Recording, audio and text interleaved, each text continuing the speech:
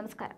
വർഷങ്ങളായി നടക്കുന്ന ഒരു പ്രതിഭാസമാണ് ലിറിഡ് ഉൽക്കാപതനം ഉത്തരാർദ്ധഗോളത്തിൽ ആകാശത്ത് കാണുന്ന ലൈറ നക്ഷത്ര സമൂഹത്തിൽ C one eight six one G എന്ന വാൽ നക്ഷത്രത്തിന്റെ അവശിഷ്ടമായ പൊടിയും പാറകഷ്ണങ്ങളും അടങ്ങിയ തണുതണുത്ത ഒരു പ്രതലമാണ് ശൂന്യാകാശത്ത് നീന്തി നടക്കുന്ന ലിറിഡുകൾ. വർഷത്തിലൊരിക്കൽ ഭൂമി ഇവയുടെ സമീപത്ത് കൂടി കടന്നു പോകുമ്പോൾ ഇവയിലെ പൊടിയും ചെറിയ പാറകഷ്ണങ്ങളും അടങ്ങിയ കണികകൾ അഗ്നിഗോളങ്ങളായി അന്തരീക്ഷത്തിൽ പറന്നുയരുന്നു. മണിക്കൂറിൽ ഒരു ലക്ഷത്തി പതിനായിരം മൈൽ വരെ ലിറിഡ് ഉൽക്കാപതനം എന്ന പേരിൽ അറിയപ്പെടുന്നുണ്ട്. ലോക ചരിത്രത്തിൽ രേഖപ്പെടുത്തിയതിൽ വെച്ച ഏറ്റവും പഴക്കമേറിയ ഉൽക്കാപതനമാണിത് ബി സി അറുന്നൂറ്റി എൺപത്തി ഏഴിൽ ചൈനയിലാണ് ഇത് ആദ്യമായി രേഖപ്പെടുത്തിയത്.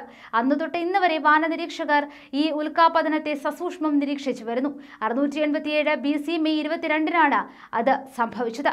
ആകാശത്ത് പുതിയതായി ഉദിച്ച നക്ഷത്രങ്ങൾ നിരന്നു നിന്നു.